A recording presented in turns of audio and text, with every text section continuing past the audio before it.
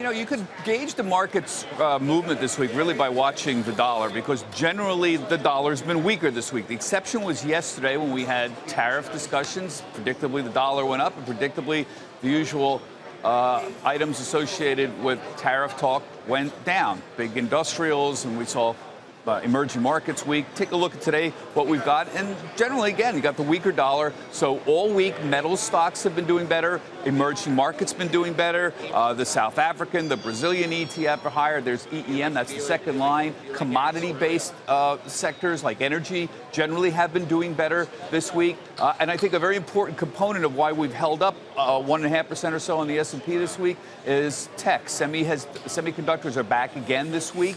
Uh, that's big support for the market. And we had something a little unusual. Uh, retail is not doing as well today as you heard everybody talking about. A little uh, a, a, tough day today with uh, Gap beating on the comp, uh, missing on the comp store numbers.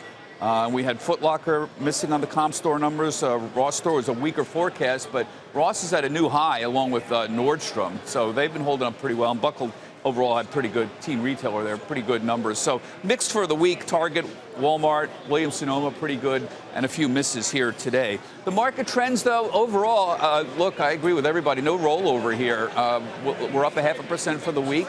The volatility, we're sitting with the VIX at 11 right now, um, near 12. The dollar's been weaker generally.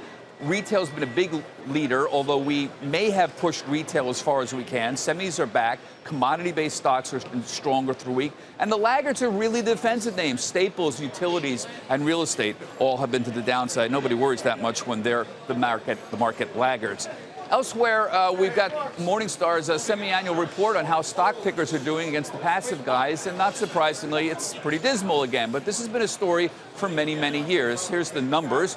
36%, only 36% of active fund managers in stock funds, these are stock funds, outperformed their passive peers in the last 12 months. That's the period ending in June. That's pretty bad.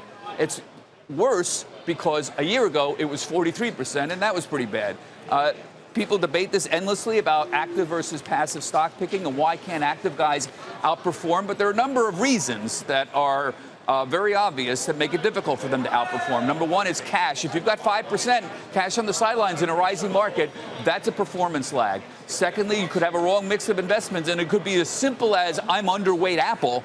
And if you are, that could be a performance drag. But the most important reason you get these underperformances is fees. The highest hurdle an active managers face is their own fees, their own compensation. It's very simple. If you're charging 1.5% and the competition is charging 0.5%.